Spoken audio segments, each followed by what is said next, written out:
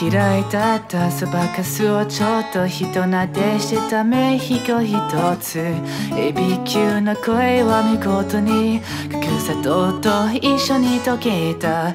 前よりももっと痩せたのにちょっとチクってさせるトゲが痛い星占いも当てになれないわ。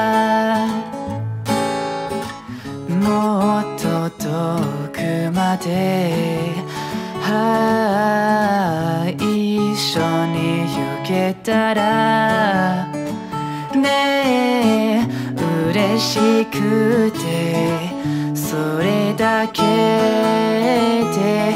思い出はいつも綺麗だけど。それだけじゃお腹がすくわ。